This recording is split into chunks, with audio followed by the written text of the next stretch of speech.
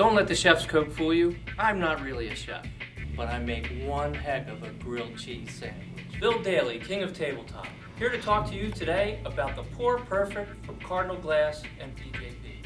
So, PJP teamed up with Cardinal Glass and their 16 ounce Cabernet wine glass to develop three distinct pour lines in a very upscale logo to help operators make profit from their wine sales. Gone is the day when we use this clunky old Libbey glass, which your nose gets stuck in anyway.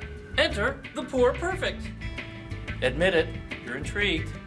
How's it work?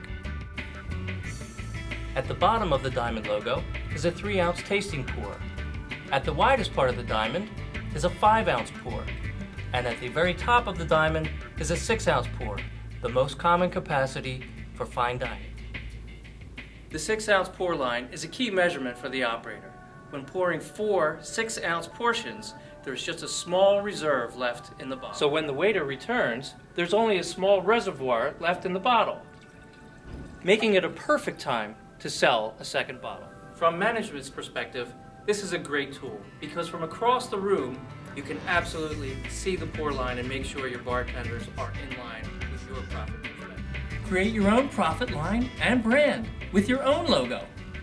Instead of pour profits, I recommend you pour perfect profits with the Pour Perfect from PJP and Cardinal.